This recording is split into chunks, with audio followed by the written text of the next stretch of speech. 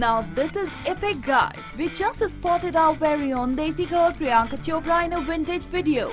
Well these photos are from Bombay Vikings music video Chod Do Aanchal which released in 2004. Here Priyanka is playing protagonist friend in Loverboy's outfit.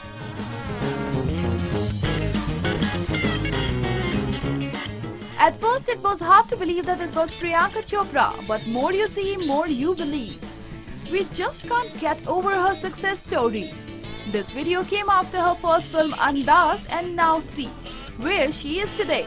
Newzstreet Desk.